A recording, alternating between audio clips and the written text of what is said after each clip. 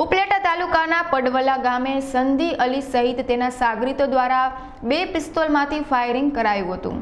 મુસ્લિમ શખ્સના છોકરાઓને ન બોલવાની બાબતે ઉશ્કેરાયેલ શખ્સોએ ફાયરિંગ કર્યું હતું. આ ફાયરિંગમાં અમૃતભાઈ માકડિયા નામના પ્રૌઢ ગોળી વાગતા ઈજા પહોંચી હતી, જ્યારે તેમના કુટુંબી ત્રણ ભત્રીજા ઉપર છરીના ઘા ચીકાયા હતા. ઘટનાની જાણ થતાં પોલીસે એક પિસ્તોલ અને છરો કબજે કરી હતી, જ્યારે ફાયરિંગ કરનાર બંને મુસ્લિમ શખ્સો નાસી છૂટ્યા હતા.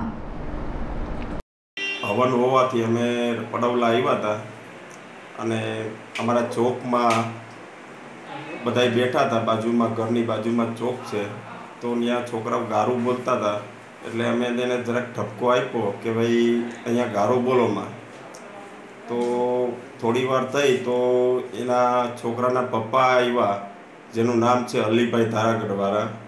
અને અમને અમે એને જાણ કરી કે ભાઈ તમારો છોકરો અહીંયા ગારો બોલે છે.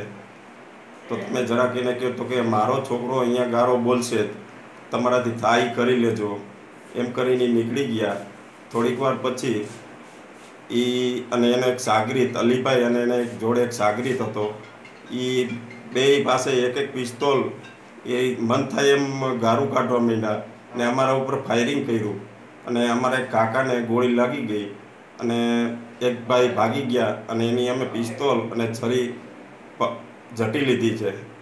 અને અમારા કાકાને સારવાર અર્થે અહીંયા કણસાગરા સાહેબની અહીંયા ઉપલેટા દવાખાને લઈ આવેલ છે.